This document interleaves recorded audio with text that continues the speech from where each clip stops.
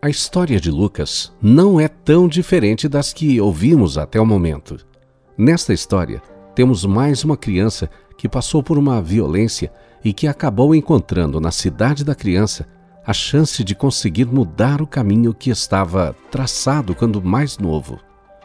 Mas o que diferencia essa história das outras é que ela é mais recente Enquanto as outras histórias se passaram em épocas distintas do final do século XX, a história de hoje se passa no século XXI, mais precisamente a partir do ano de 2010.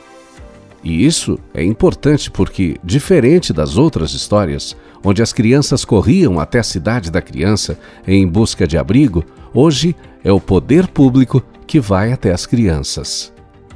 É o que aconteceu com Lucas, em 2010, era a terceira vez que o Conselho Tutelar o buscava para sair do convívio familiar.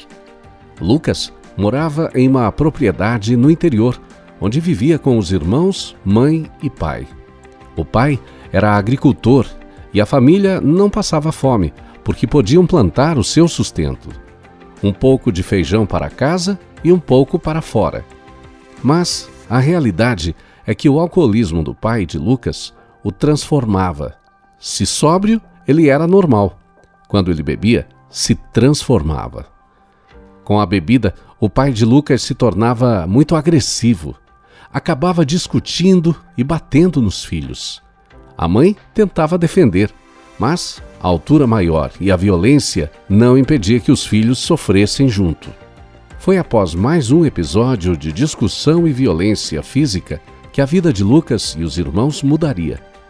A denúncia de um vizinho levou Lucas e seus irmãos definitivamente para a cidade da criança.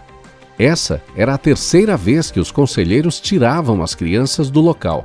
Na escola, eles já tinham aparecido com marcas anteriormente, mas foi em 2010 que a guarda das crianças saiu da família e as crianças foram morar na cidade da criança. Neste momento, Lucas já tinha 14 anos e via a mudança da rotina acontecer. Antes, ele ia para o colégio e, quando chegava em casa, seguia ajudar o pai na lavoura. Agora, encontrava um novo mundo na cidade da criança.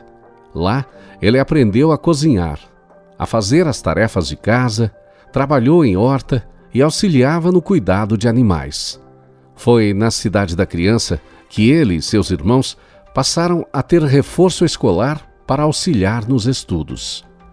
Os pais os visitavam a cada domingo, mas a reincidência do pai, que continuava a beber, fez com que os filhos continuassem na cidade da criança. Mas as visitas do pai ficaram mais espaçadas, até que um dia ele não veio mais. As crianças então acabaram descobrindo que o pai havia falecido de cirrose. Neste ponto, Lucas já estava fora da cidade da criança, já que era maior de idade, mas seus irmãos acabaram ficando um pouco mais até a mãe deles recuperar a guarda das crianças. Hoje, os dois irmãos vivem na casa da mãe, no interior. Lucas, por sua vez, seguiu com a sua vida. Foi com o auxílio de uma assistente social que ele conseguiu seu primeiro emprego, o que auxiliou, é claro, no início da sua vida.